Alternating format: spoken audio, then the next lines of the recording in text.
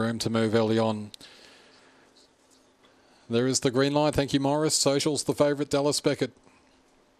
Ready. Racing, Social began well, good speed out wide. Shandon Hawk, those going to lead. Socials quickly up to second, checked out the back. Here's a size up in Usurper and taking over Shandon Hawk, three on Social, who's very handy. A couple away, all red, rattling through. Harry Harks, Urana Laurie tries to improve.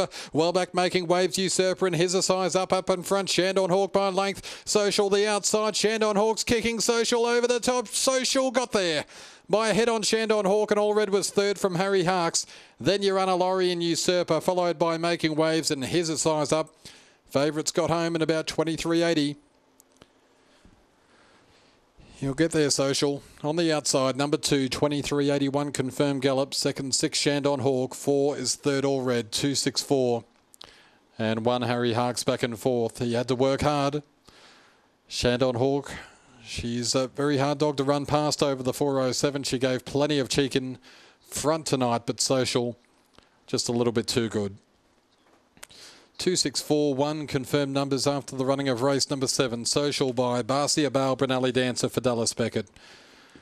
Second, Shandon Hawk, Peter Payne. Third, All Red. The other guys, Syndicate and Nev Jackson. Fourth in one, Harry Harks. It's a quick first split of 869 and coming home in 15.12, 869, 15.12, which uh, I've got to tell you, I tremendously doubt that a dog like Social wouldn't be breaking 15 seconds coming home. But anyway, that's what the section will say. I just doubt the validity of that, to be honest with you. 264 and one, a half by one and a half, 23.81, and all clear.